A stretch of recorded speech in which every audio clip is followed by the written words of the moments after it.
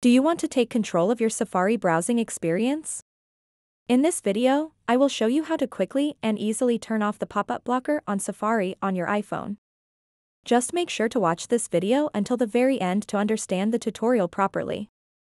To get started, open up the Settings app on your iPhone and then scroll down until you find Safari. Once you've found it, tap on it.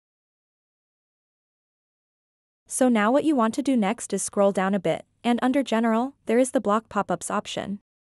So go ahead and toggle off the switch next to Block Pop-ups.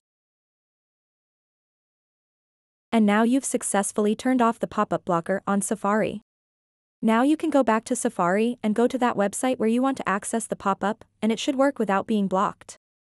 So that wraps up this tutorial.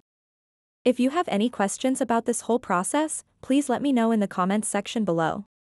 And if this video helped you out, please give it a big thumbs up and subscribe to this channel for more tutorial videos like this one.